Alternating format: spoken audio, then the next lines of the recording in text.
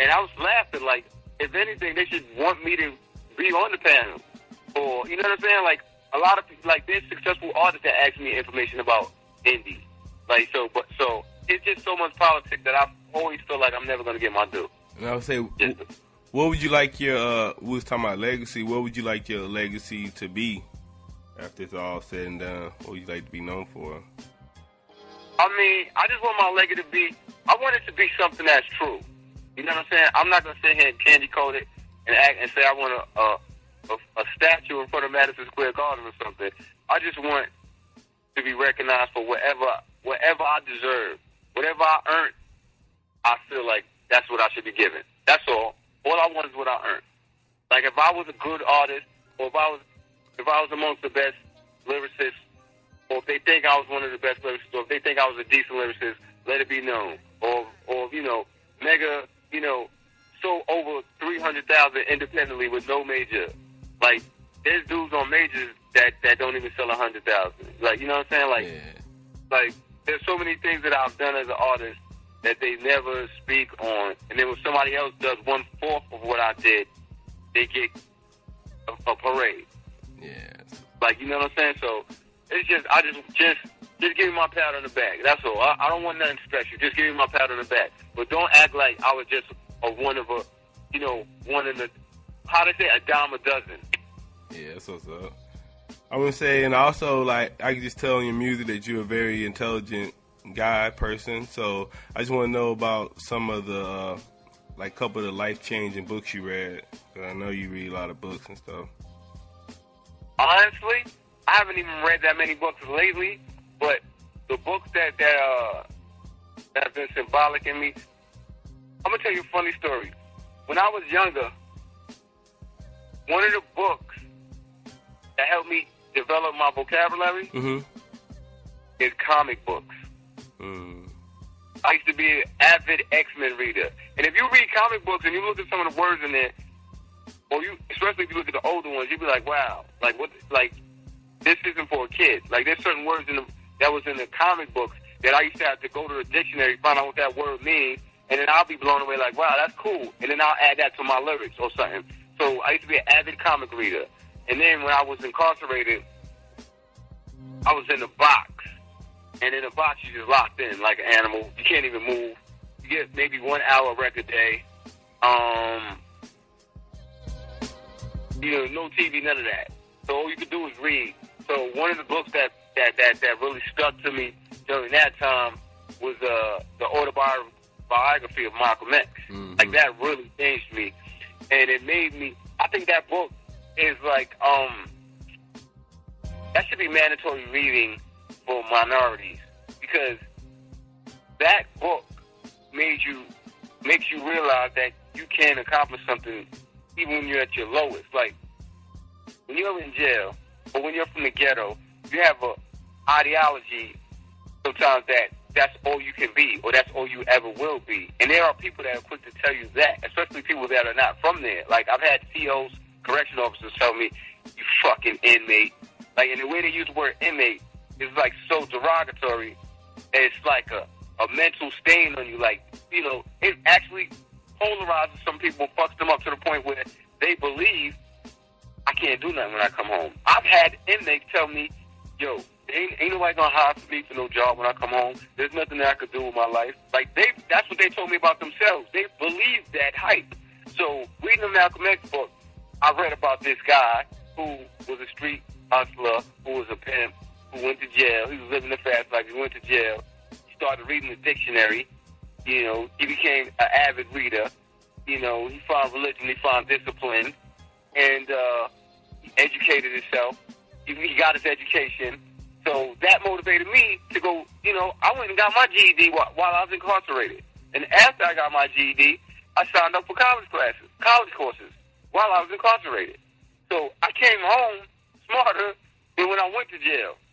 And that book was a big, um, a part of that, you know?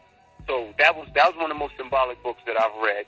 That, um, and then books of religion, you know, the Bible, the Quran, stuff like that. Also, I read a book called Art of War before that had some real strong quotes in it too. And uh, those are some of the books that you know that really uh that really stayed with me mentally. Of course, in jail, you're always gonna have the Iceberg Slim and Donald Goines' books too. There's always those for those, you know, those books. But I don't. I tried to stray away from those books because those books are, are, you know, those books sometimes they tend to make people want to go back to that fast life. Yeah, I feel you. All right, so I want I want you to talk about your current projects a little bit because I saw the uh, you got the new group Mars coming out, so I want you to talk about what all you got going on. Well, Mars actually that, that was a big misconception. Mars is basically a song. Oh. The, the next project that we that I'm doing is is going to be a, a whole Cormega project, but it's entirely produced by Large Professor. You know, so that is like a dream come true for me to work with Large Pro. So Large Professor is doing the beats and I'm doing the rhymes, and Mars is just one of the songs that's on there. It's just that when we did Mars, like I came up with the, the idea for Mars because I always try to come up with titles that are catchy, and I called it Mars because it was Mega, Action Bronson, Rock Marciano, and Saigon. So, um, that's why I called. Just like I did a song with Ghostface, I called it Tony Montana. Because people call me Mega Montana, they call him Tony Stark. So Mars was a conceptual song. It's just the buzz got so crazy that the pub and the public is so so thirsty for real hip hop underground artists that when they seen us together, it's like they wanted that.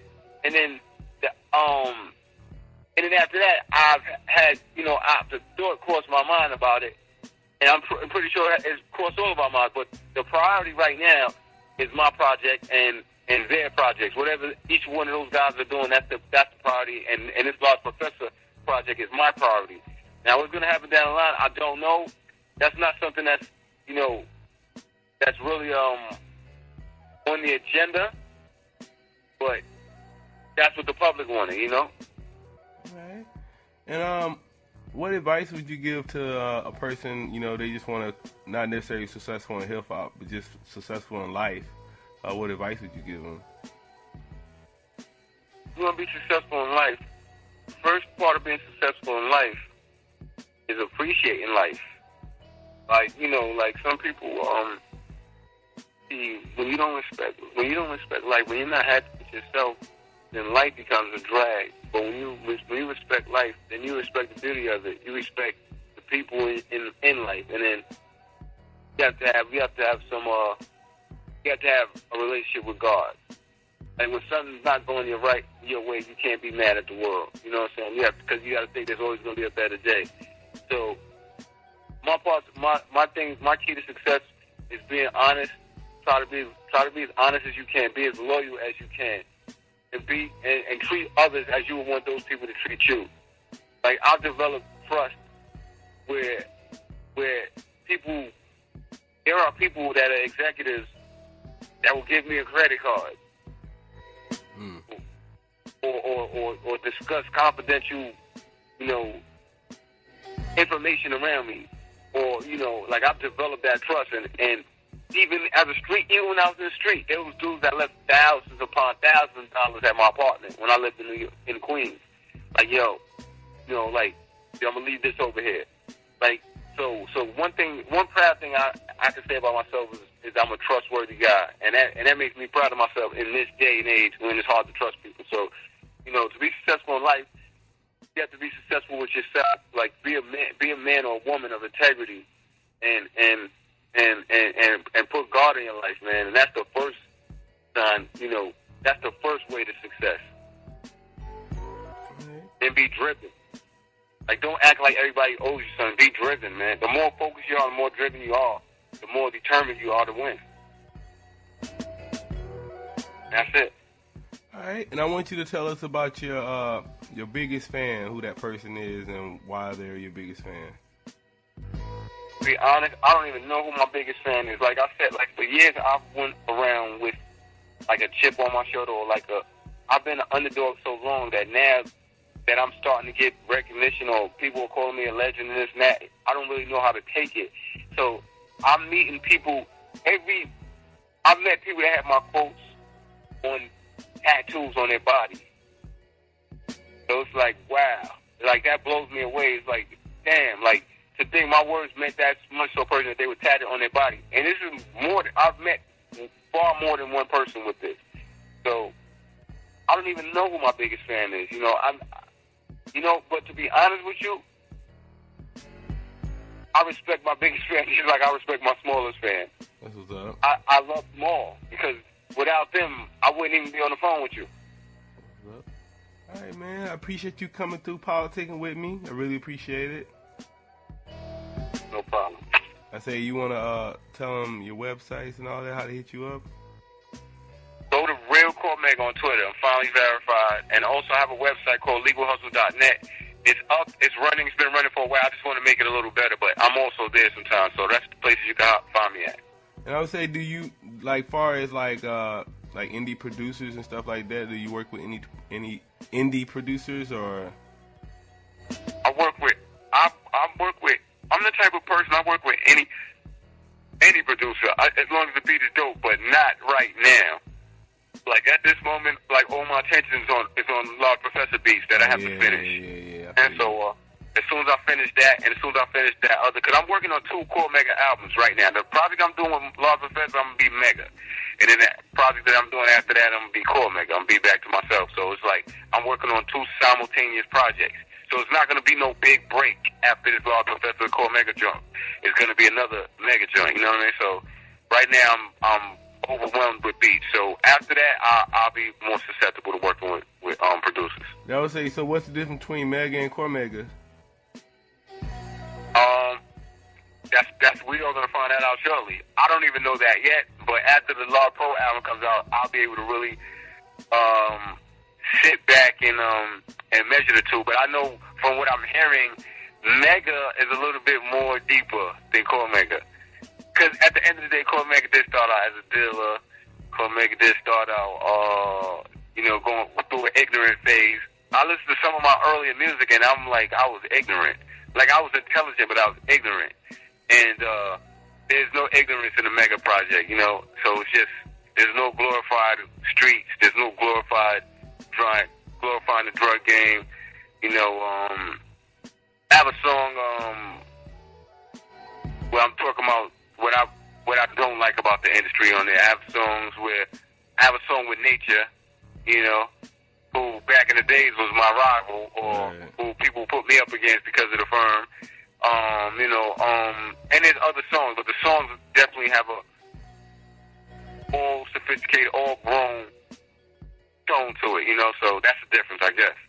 There's no ounce of uh, ignorance in Mega, but Cormega had his days of ignorance. What's up? This is Cormega. I'm chilling with my people at Po Politickin, you know what I mean? Peace and love. Moms. Laws.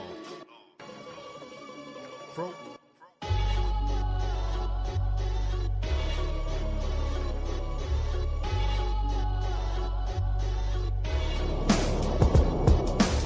Even the hardest rounders know I got and heart like John Starks when the dunk had the garden wildin'. Triumph was short-lived, but the moment's timeless. Words hold weight like a salmon, never break your silence. If you face indictment, take it like a man. A thousand tests, a lot of sweat. Satan's fire rages like the 80s types of blazing souls of those who say we came for science. Ain't as wise as they like us to believe. Think about it. What made us conscious? A greater power gave us all the gift of life. We grazing for it before the creator called you witness in a great performance. I ain't conforming. I crush those who wanted them way the powder of their persona. On a high scale of rhyming, they've been counted. A peak harder to reach the Himalayan mountains. People say I'm I consider it evolving. I'm sick of facing charges and my mental game is stronger. As rain falls in my executive trench with the waist belt, base dealt, make your face melt. Toast to fortune, diamonds in the coffin. Pinky extended, getting twisted like a blender. Grown man rap, grown man pockets. Never catch a statutory, eating cacciatory. You're like a yield, peel when you see steel.